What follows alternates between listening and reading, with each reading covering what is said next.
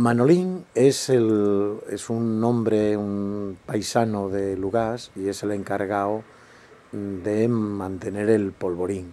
Y le queremos preguntar qué significa esta expresión, el polvorín, aquí pegado al santuario, al santuario de Lugás. Creo que hace unos años, hace unos un montón de ellos ya, se hacía aquí la pólvora, cada, cada persona traía su pólvora y hacía aquí la pólvora para tirarla el día de la fiesta. Por cada, tiene cinco balcones, o tenía cinco balcones, y sigue teniéndolos, y cada uno lo tiraba por su balcón.